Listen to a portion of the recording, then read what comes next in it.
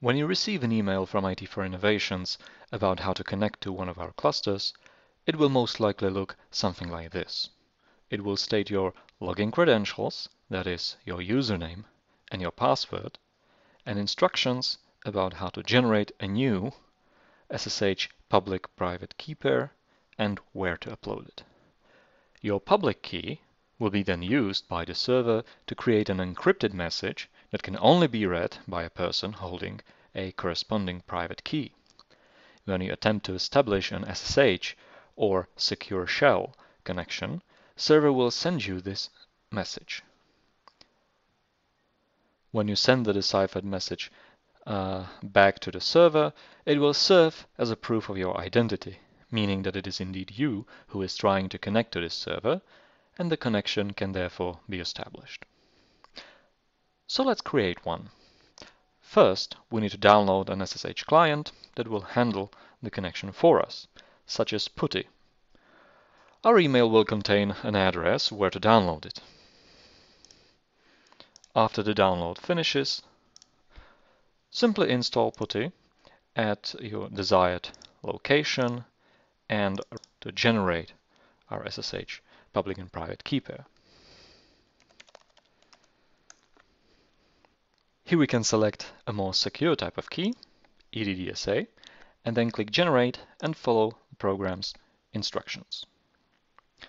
Once the key pair is generated, we can fill in the key comment section to make it more memorable, and the passphrase section, which will make sure that our key is password protected.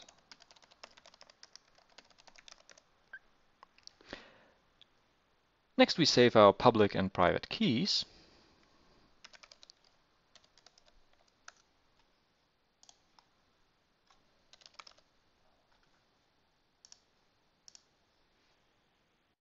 And then submit the public key as a rule of thumb, the shorter one, to the IT4Innovations in a format generated by PuTTY Key Generator.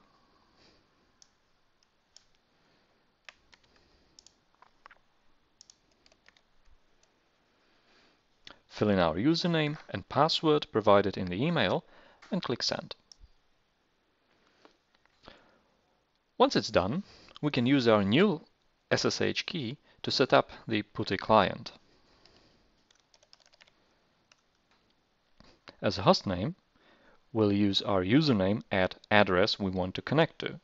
So in our case, it'll be dd-22-28-31 at login1.carolina.it4i.cz. Then we'll go to SSH and authentication and make sure that allow agent forwarding and attempt authentication using Pageant uh, boxes are checked and we provide our private key.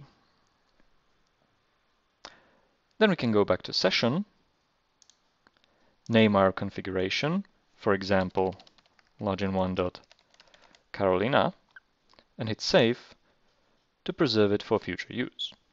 At last, we click open and provide our SSH key passphrase.